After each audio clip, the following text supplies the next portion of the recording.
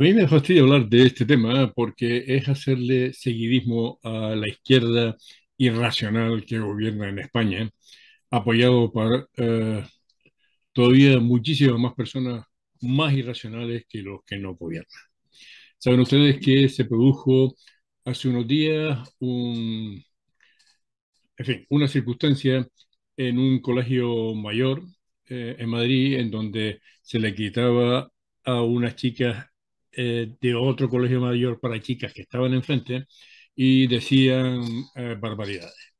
Barbaridades propias de la edad, a mí no me gustan ese tipo de cosas, pero que de ninguna manera podía interpretarse como un delito de, de lo que fuera, porque no sé cómo calificarlo, entre otras cosas porque las chicas lo, no solo los han disculpado a los chicos que les decían eso, sino que además los vídeos fueron manipulados, porque en un momento fue los gritos de los chicos a las chicas, pero nunca se puso el vídeo de las chicas a los chicos.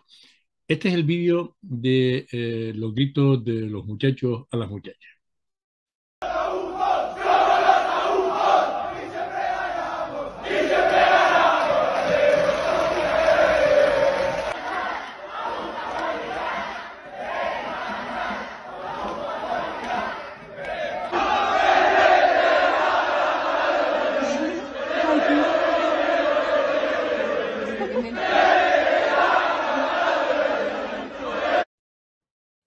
Y este es el vídeo que nunca se puso eh, por aquello de escandalizar, que es lo que hace la izquierda perfectamente, de las chicas a los chicos.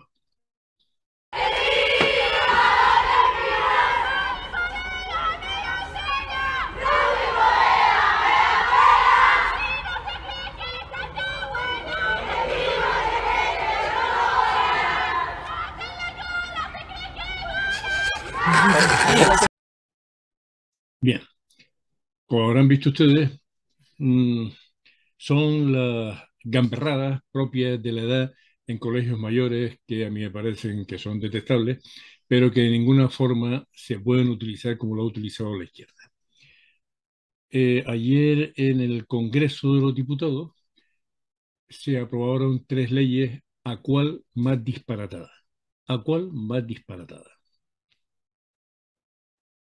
¿Qué había que hacer? Una maniobra de distracción y sacaron justamente este vídeo de los gritos de los chicos a las chicas para armar el lío que arma siempre la izquierda en este tipo de cosas, para, digamos, minimizar el escándalo que supone tener tres leyes como las que se aprobaron ayer en el Congreso de los Diputados.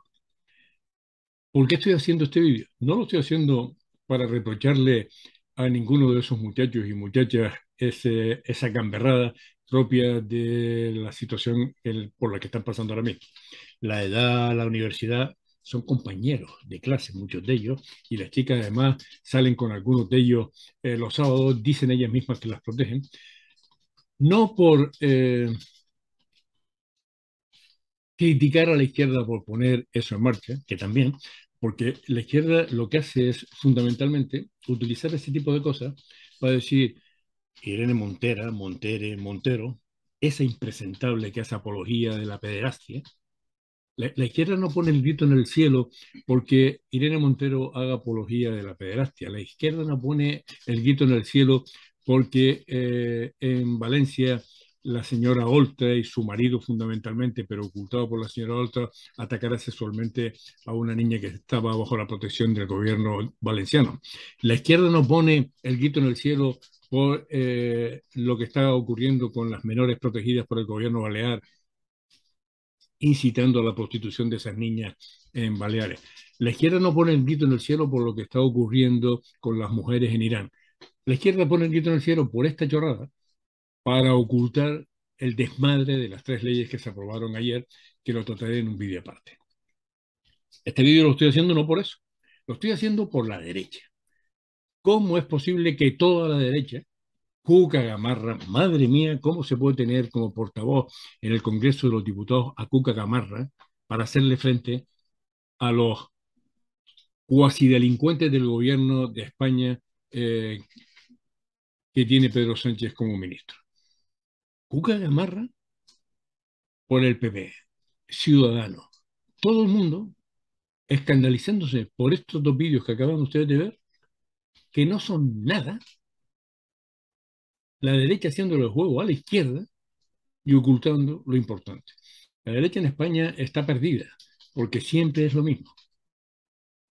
Rajoy fue un finfle, fue un melifluo, fue un traidor con el tema de Cataluña, y Feijóo igual. Feijóo es un débil, que habrán dicho, hombre, es que ha ganado cuatro mayorías absolutas en Galicia, su gestión económica ha sido perfecta. Esto no es Galicia. España no es Galicia. Feijóo además se ha cargado el idioma español en Galicia, sustituyéndolo por el gallego. Además, está tratando de pactar con los independentistas de derecha, Junts, en Cataluña, y con el PNV en el País Vasco. Todo eso antes de hablar con Vox. La derecha, en España, si llega al poder, como llegó Rajoy en su momento, que no quitó la ley de memoria histórica, por poner un ejemplo de Zapatero, que ha vuelto a dividir violentamente a los españoles, no es la solución para España tampoco. Estamos perdidos en realidad en España. La clase política es lamentable en, cualquier, eh, en cualquiera de los casos. Unos porque hacen dejación, la derecha, y otros porque están concentrados exclusivamente en destruir España, la izquierda. Y me sirve estos dos vídeos de los muchachos de los colegios mayores estos para poner en evidencia a uno y a otro.